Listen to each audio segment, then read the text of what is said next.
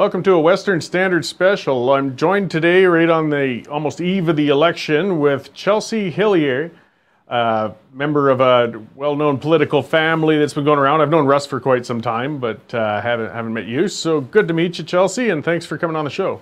Thank you for having me. So you're running for the PPC in Elgin, Middlesex, London. That's right. Yeah. And so how's that campaign been going? It's it's been amazing. Um, this campaign has been uh, better than we could have imagined. Uh, we knew that there was going to be a lot of support out here. This is a very sort of freedom oriented place, um, but uh, it's exceeded all of our expectations. Yeah, well, it's been raising a lot of eyebrows. Finally, I guess you could almost say. I mean, it's like a lot of the establishment media and establishment parties just wanted to pretend that Bernier and the PPC weren't even there. And despite that, uh, it, they've been kind of taking the country by storm and, and posting some numbers that uh, people really never anticipated. Yeah, you know what? It's an amazing thing. So, of course, we're the only political party right now who's speaking out against lockdowns, vaccine passports, COVID mandates in general. Um, and in doing so, um, we've also been able to draw crowds. Um, and and we we're really about bringing as many people together as possible. I've said since the beginning of this entire COVID madness that started in March 2020 that uh, that the power that we have in the freedom movement is that we're not afraid to actually get together and be with one another. And I think that's what you see happening at all of these rallies. It's like an outlet for all of these people who have been uh, locked down and and managed for 18 months. Yeah, and you've been pulling support, I, I, I, found, from almost all over the political spectrum. I mean, probably predominantly conservative, but I think the fact that it is kind of the one and only personal freedom, anti lockdown sort of party that, that you would be able to do that. And I think that kind of deflates a little bit of the vote split uh, fear mongering that, that some anti PPC people are putting out there. Absolutely. We we 100% have uh, support from across the political spectrum. We've seen huge numbers come from uh, traditional NDP voters who, uh, you know, they really want the vaccine is really what did it for most of them, I think. But you know, those traditional voters, like they wanted to be left alone to live the lives that they choose to live for themselves, and and and so we see these people uh, coming to the party in droves, and I think it's an amazing thing, uh, incredible unification message that's happening. So that it's it's been great. So with that base, though, let's kind of skip ahead to the day after the election, say there's a couple of seats or no seats or whatever it may have been. I mean, there's no doubt the PPC has made a mark and established itself, but there's kind of almost a hard cap to the people who are anti-restriction and so on. Like to broaden the party out, or if you're looking for to be a lasting entity, where do you think the PPC would go uh, to to establish itself? Yeah, so of course we have an entire platform outside of the COVID narrative. It's just that we've sort of been bolstered by what's happened. Um, I think that the message that we have really at its core is that um, every individual matters. And as our country moves to collectivism and we see the degradation and diminishment of the value of the individual in this society, um, we are the only ones fighting back and speaking out against that. And I think that that message resonates with people. Uh, this idea that Canada is actually a wonderful place filled with wonderful people who are actually very good people, you know, and and we're painted with many brushes, you know, but I do think that that's the core of our message is that individuals matter and Canada is an amazing place. And that's a thread that goes through every single part of our platform. It's really, you know, it puts Canada first at all times. Yeah, well, and we're getting so polarized with so many things. Emotions are getting so high. Uh, I, am just happy to see somebody speaking out for choice, like something. It, it's funny, and it comes from both sides. Like I've openly said many a time, I'm vaccinated. I do think it's a good idea for people to get vaccinated. I just don't ever want to see them forced to get vaccinated. There's a big line, but when I take that stance, I tend to get it from both sides. And yeah. uh, no, I, you know what? Like, I don't think that there's anyone. There's certainly no one working on my campaign who believes that you should be forced not to get vaccinated. There is certainly just the message that you should be free to make the choice that is right for you. And that's that's for vaccination and many other issues. Um, you know, and I, I, get I get phone calls every single day from the time I wake up in the morning till the time I go to bed from people right now who are devastated because their children are being excluded from extracurriculars at school. They're being excluded from their athletics clubs that they've been part of for years and years. And we know that this is going to escalate and keep going if we don't put an end to it now. So this is not anti-vax. This is absolutely uh, empowering every individual to be able to make the choice that they want to make.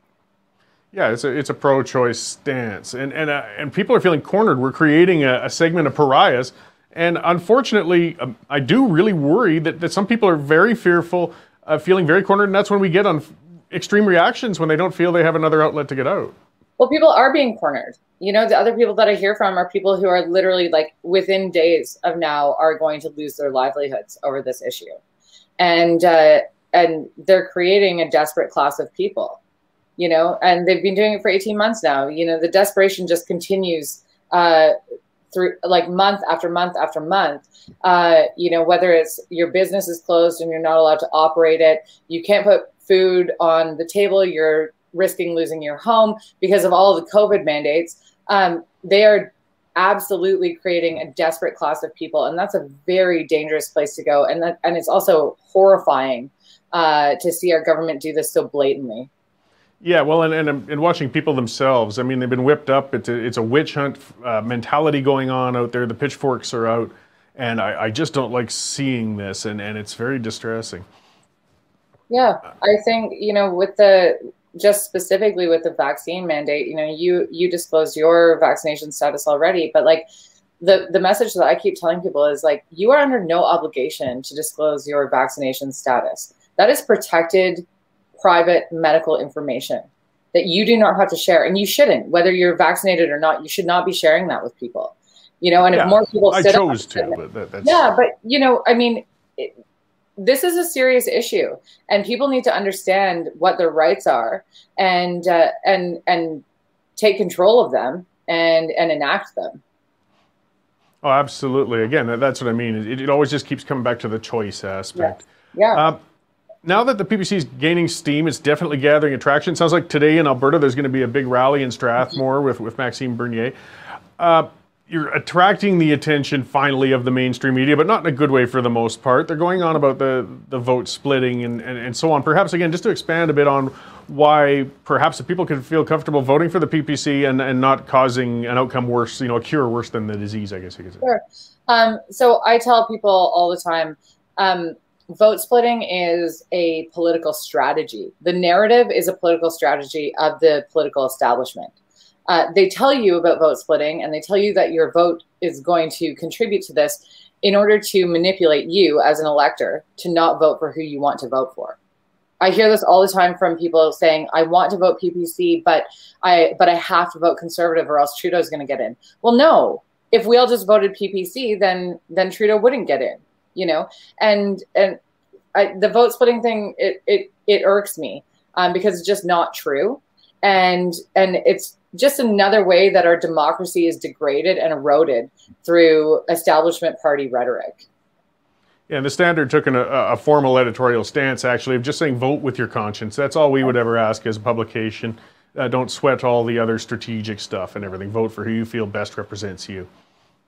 Yeah, well, that's what our democracy is about. And I think that there's another part of this that's interesting is that um, people are so focused on the leaders, and we've seen this in our in our democracy for ages and ages, uh, where people will say like, "Oh, well, I voted for Maxime, or I voted for Justin, or whoever it is." Um, you're voting for the person who is going to best represent you in the riding that you live in. So right yeah. now, in the riding that I live in, there's a conservative incumbent and so if you're voting conservative just to not split the vote, you're literally going to get the same thing that you've had for the last six years. Yeah, no, so, you're not getting anything different.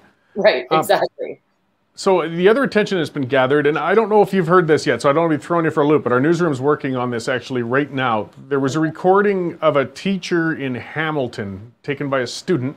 Uh, they were breaking up the class, you know, a, a political exercising class, saying students representing this party, this party, this party. Uh, one of them said, well, well, I want to be PPC. And the teacher outright came out and said, no, we won't have that in here. The party has racist policies and it's not going to happen in this classroom. And uh, the student actually said, Well, I'm excusing myself, I'm leaving right now. But we're seeing things from public civil servants that really shouldn't bloody well throw in their opinion on our students like that. Plus, as far as I can tell, uh, I've seen more uh, NDP candidates uh, kicked out for anti Semitism than I have uh, racism issues with the PPC right now. Absolutely. I mean, you know, this idea. I'll tell you a story, okay? I uh, a gentleman from the riding called me the other day. He's a lifelong NDP voter. Um, he's involved in the the party and the the riding association uh, to some extent. He's not a member, but very involved. And we, and we started the call, and and he was sort of you know very he he was unsure about speaking with me.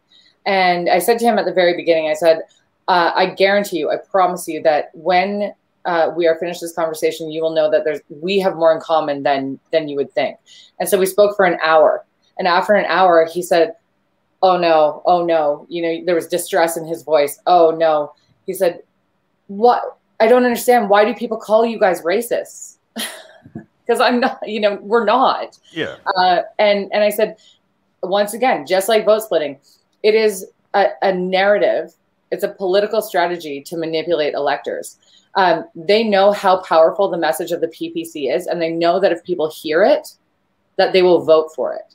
And if they vote PPC, then we have to see establishment politics done completely differently in this country. And that means that the people who are benefiting today from the system will no longer benefit tomorrow. And so no. they want to do everything they can. And so they pull out things like calling us racist, which we are absolutely not. No, throwing out racist has always been this simple, shallow way to try and discredit somebody. I, I know from our Calgary candidates looking around, we have Edward Gow, who I, I know through libertarian politics for quite some time, and, and Harry Dillon. And while I don't know the membership requirements for the white supremacist groups, but I'm pretty sure there's something going on with those two that would exclude them from joining that bunch, why on earth would they be running then if it was such exactly. a racist organization? Well, absolutely. And like myself, you know, my my background is working in nonprofit. I worked with immigrant and refugee women on workplace and cultural integration programs. Like that's that's what I did for a living. I care deeply about all people, all individuals in this country.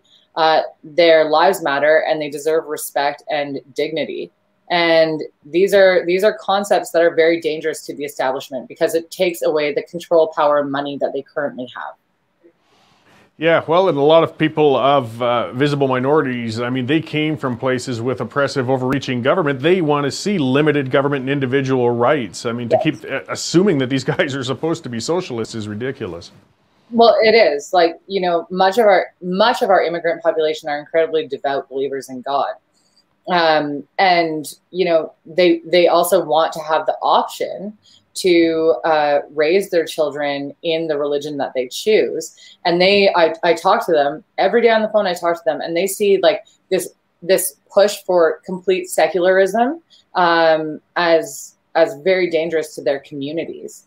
And and so that's it's an interesting thing that the immigrant populations and the first generation, second generation immigrant populations, and also just like the the, the ethnic populations across the country are coming to the PPC as well. Um, they're finally seeing the representation that they want without the pandering.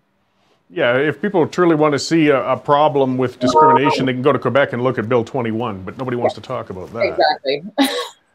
okay, so um, I'll let you get back on the campaign trail. Where can people find out more information about the, the party and your campaign itself? Sure. So uh, the party can be found at peoplespartyofcanada.ca. Uh, myself, my website is chelseahillierppc.ca. You can find me across all social media platforms as well.